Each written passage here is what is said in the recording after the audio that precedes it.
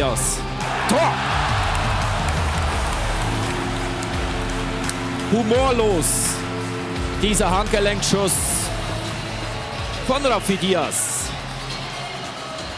Der erste gefährliche Abschluss auf das Tor der Esteri Lakers. Siebtes Saisontor.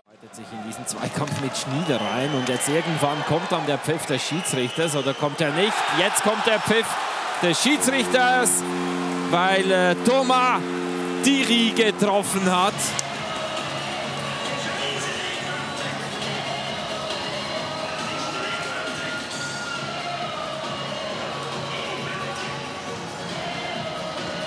Zweites Saisontor für Thierry.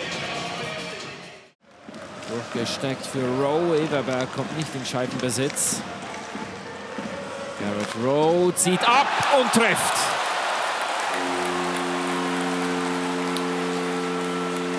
Keine Sicht für Noel Bader. Erneut ganz viel Verkehr. Und Garrett Rowe jubelt zum fünften Mal in dieser Saison.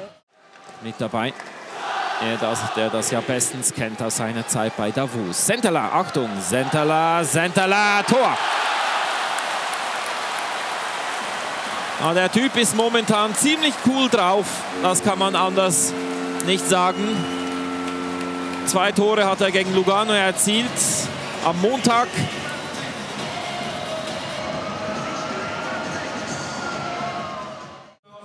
sorgt hier also mit dem vierten Tor für Jubel im Publikum. Und jetzt gibt es Jubel für die Gäste. Das Shutout von Sandro Eschlimann äh, vorbei. Auch die Lakers dürfen jubeln. Casey Wellman.